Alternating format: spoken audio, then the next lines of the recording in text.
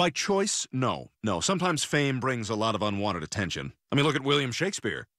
William Shakespeare. I Nice collar, you fruit. thank ye. Hey, Shakespeare, what's the title of your next play? You should call it Homosexual Collar Guy. Ah, by japes and jabs, cut me to the quick, squire. What does that even mean? I know. It means I use this collar as a bib for when I service guys. Thank ye, thank ye.